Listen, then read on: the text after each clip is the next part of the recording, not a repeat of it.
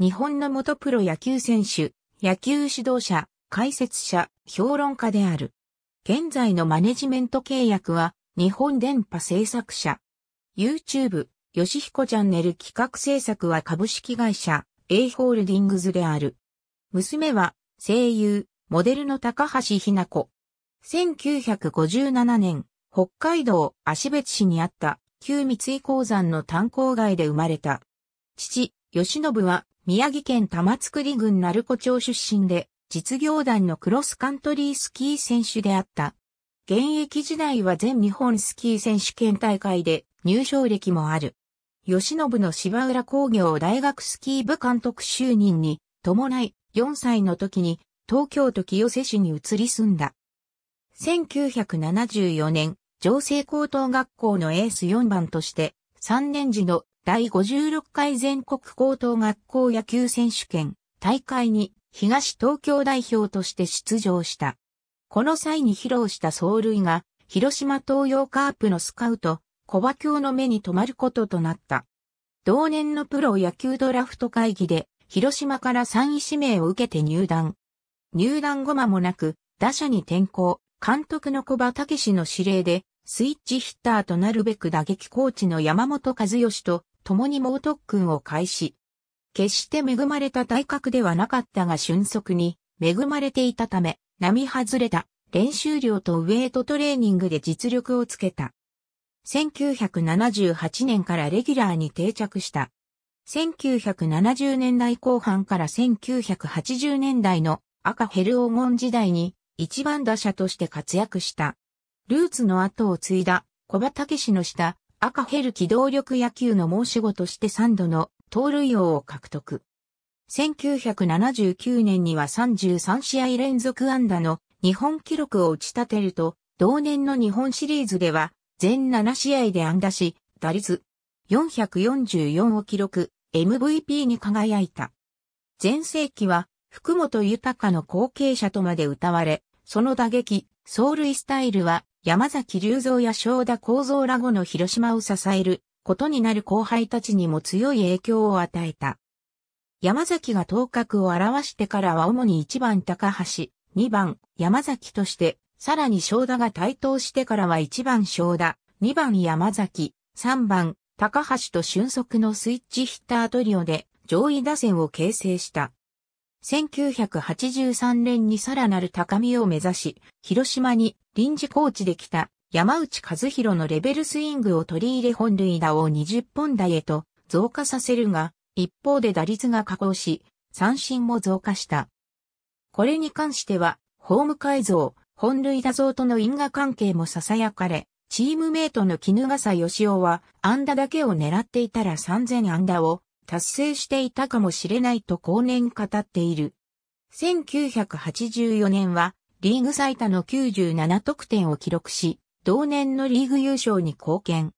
阪急との日本シリーズでは、第3戦の4回に宮本史郎から2ラン、第7戦は5打数4安打1打点、30打数15安打打率、503打点を記録し、日本一に貢献。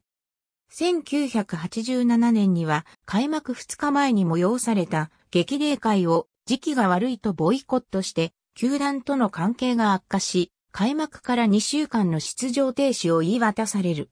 そのため、続けていた連続試合出場も途絶えるが、同年は謹慎中の12試合以外は全試合に出場した。1989年8月14日の中日ドラゴンズ戦では、杉本忠からサヨナラ本塁打を打っている。また、1989年に入団した同ポジションの野村健次郎の台頭もあって、同年オフ、高沢秀明、水上義雄との大型トレードで、白竹義久、杉本進氏と共に、ロッテオリオンズへ移籍した。応援歌は、歌詞を、広島時代の、行くぞ狙いは、盗塁王で始まるものから、飛ばせ、ロッテの核弾頭で始まる内容に変更しただけで、ほぼそのまま流用された。前奏も広島時代より、暴れん坊将軍のテーマが使用された。ロッテでは、マイク・ディアズラと中軸を組んでいた。ロッテでは監督の金田昭一のもと、遊撃手より、外野手として期待されていたが、すでに前世を過ぎており、思うような成績を上げることができなかった。1990年オフに、円山少子とのトレードで阪神タイガースへ移籍。1991年は開幕から左翼手で起用されたが調子が上がらず、シーズン最終盤の9月末からの7試合は本職の遊撃手で起用された。打撃成績は前年よりも悪化し、打率206、本塁打0、打点2に終わった。1992年は遊撃一本で挑みシーズン序盤の4月に6試合遊撃手で先発出場した以外は新人の久慈照義の台頭により出場機会があまり得られないまま、この年限りで現役引退した。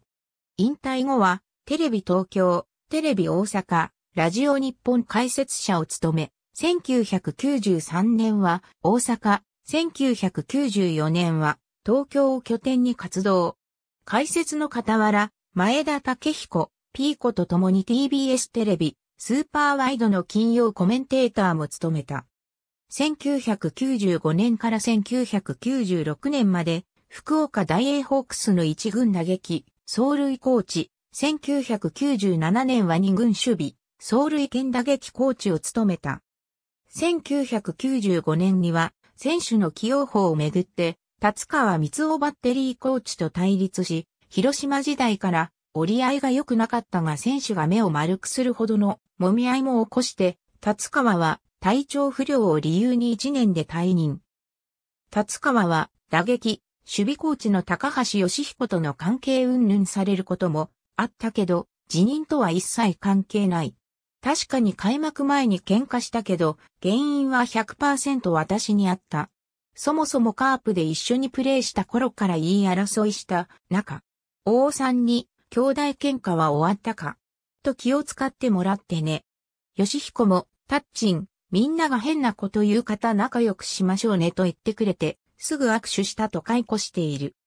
在任中は、村松友人や浜名千尋ら後のホークスを支える若手を育成し、大英大団後は九州朝日放送 CSK、テレビ解説者、スポーツ日本福岡版評論家を務めた方、フジテレビ、奇跡体験、アンビリバボーにて、ガーナでの野球の普及活動に力を注いだ。2004年のオールスター終了後、大英時代の球団代表であった瀬戸山隆三の要請で、ロッテ1.2軍巡回コーチに就任。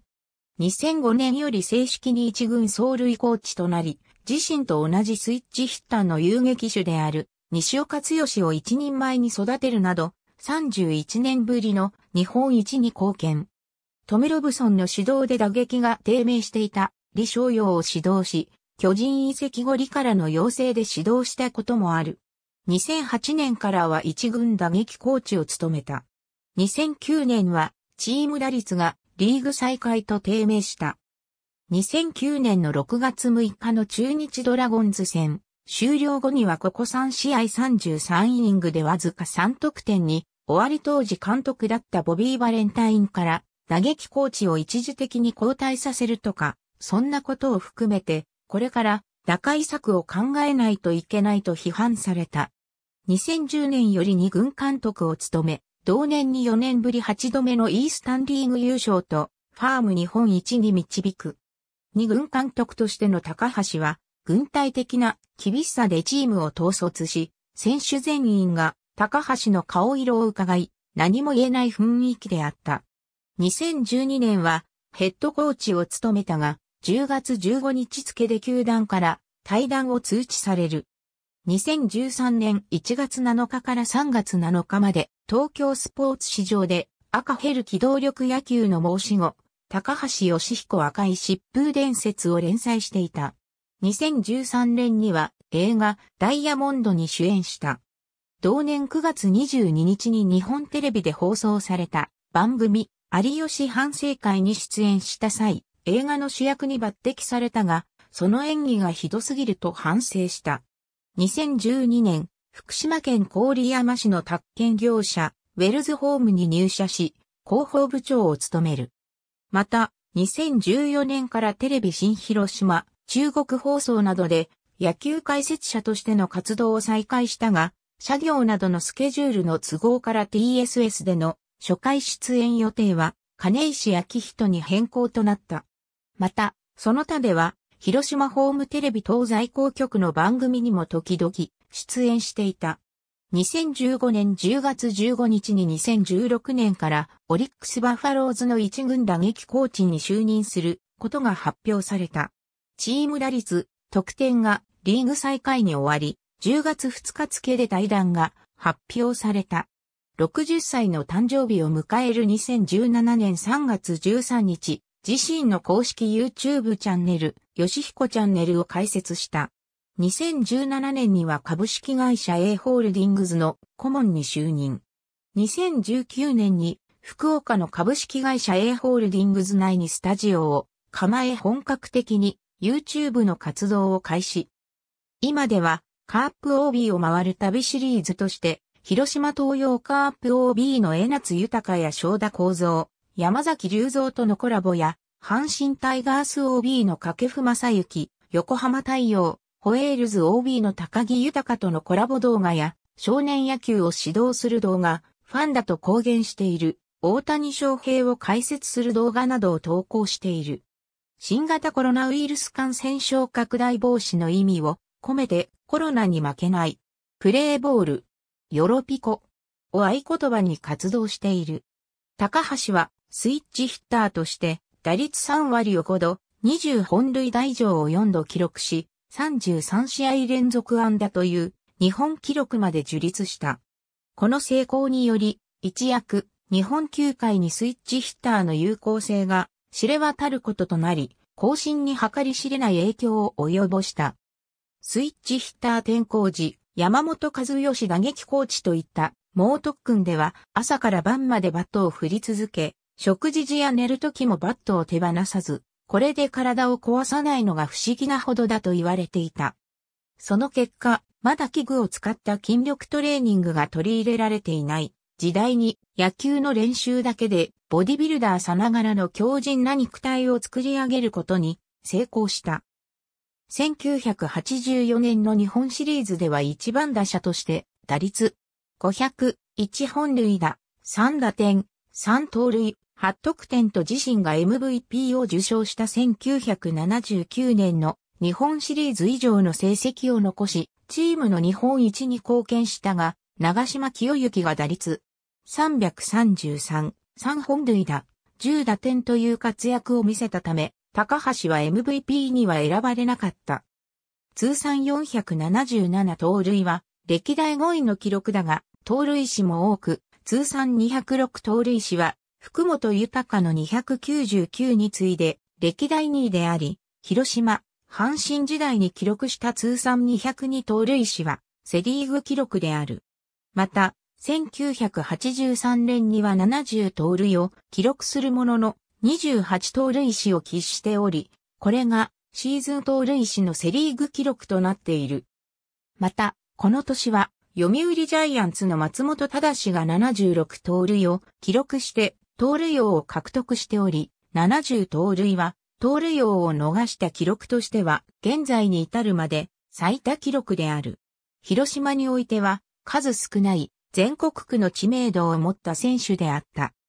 小説家、村上龍が高橋をモデルに書いた、走れ。高橋はベストセラーとなり、また自身の発売した、君の声が聞こえる、噂のセクシークイーンなどのレコードは、5万枚の売り上げ記録している。人懐っこく明るい性格で、こういう範囲が広かった。秋野陽子が高橋を弟のように可愛がっていた。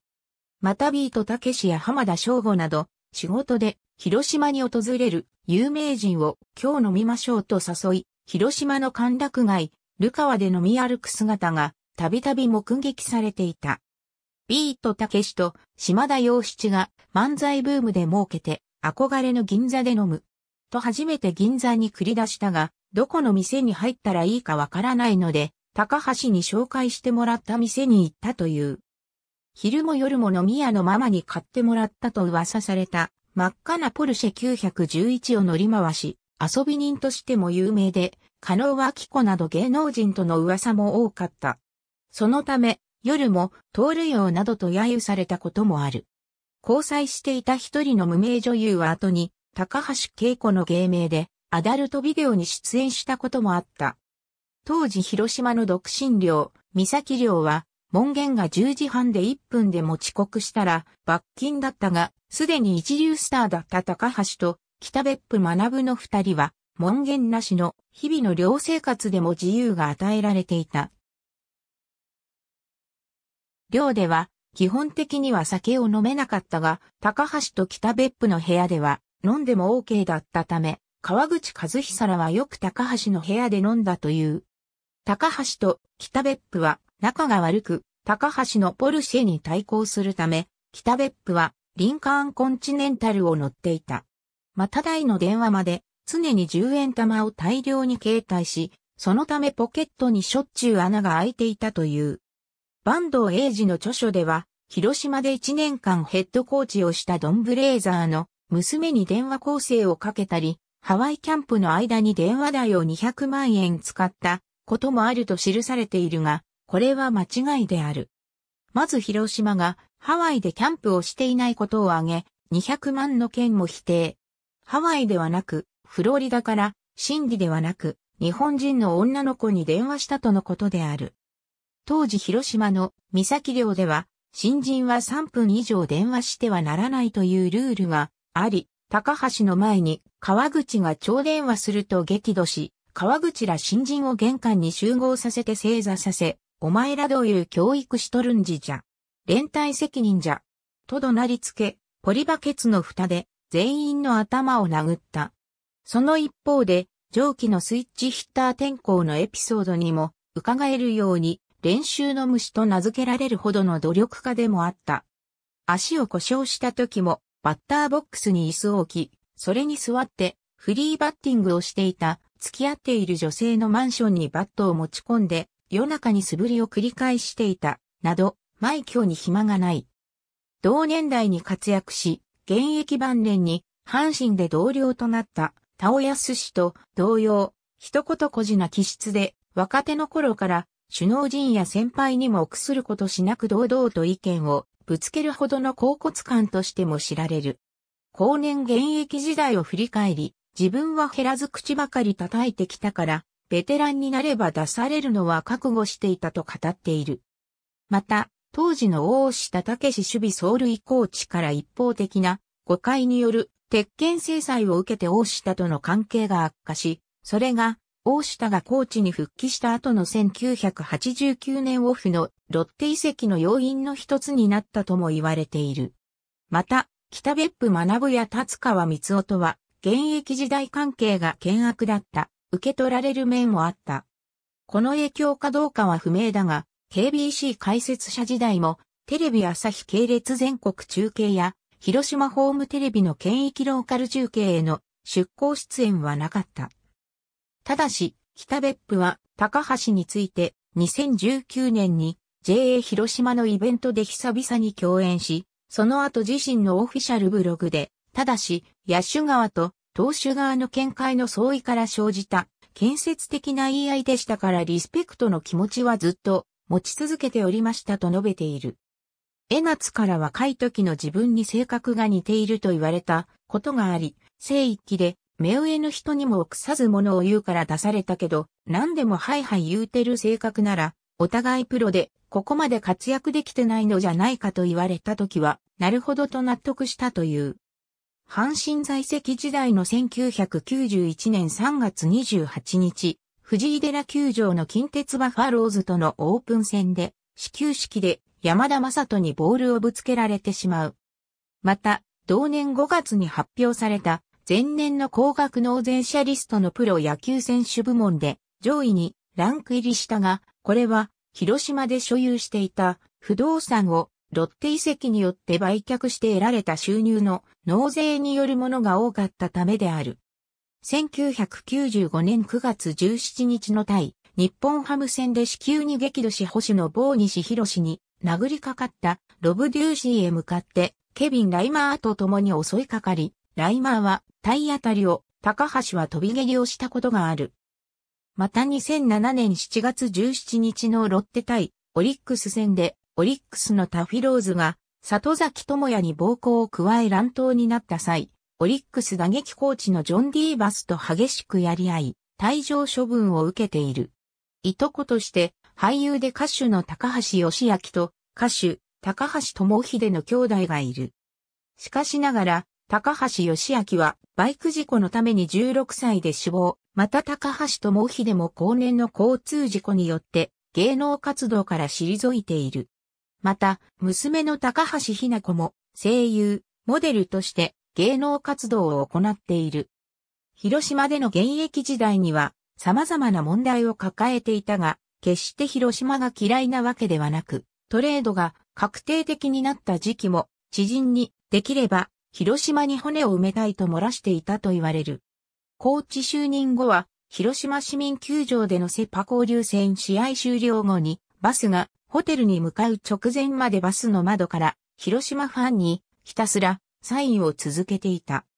解説者、タレント時代は在校放送局の番組への出演もあったほか、ホークス戦の解説でも広島式の練習方法をホークスも取り入れてみてはどうかと提案することもあった。本人は広島に復帰したい気持ちがあるがオーナーと喧嘩をしたので無理でしょうと語っている。2006年12月8日、二宮清純が主催するシンポジウム、東京カープ会にゲストとして参加。小場監督時代の広島の様子や、遊撃手として居合わせた、江夏の21球の裏話などを披露した。2008年12月6日、同年度で閉鎖となる、広島市民球場で行われた、カープ OB オールスターゲームでは久々に、広島のユニフォームに袖を通し、1番、遊撃手で先発出場して3安打1盗塁で最優秀選手に選ばれた。その際、僕は引退試合をしていない。ファンの皆さんのおかげで、今日は僕にとっての引退試合になったとコメントした。スタンドから現役当時同様に、吉彦コールを浴び、帰ってこい。という声があちこちから聞こえた。打席では、保守の達川と談笑する場面もあった。2021年、自身の YouTube チャンネル、よしひこチャンネルで、広島東洋カープ OB の江夏豊や正田幸三、山崎隆三との交流を深めている。後楽園球場の電光掲示板では、選手名が高橋よと表示されていた。これは、当時の後楽園球場の掲示板はドットが荒く、画数の多い、喜びの字が表示できなかったための給与の策であった。全作品、ミノルフォンデコードからの発売。ありがとうございます。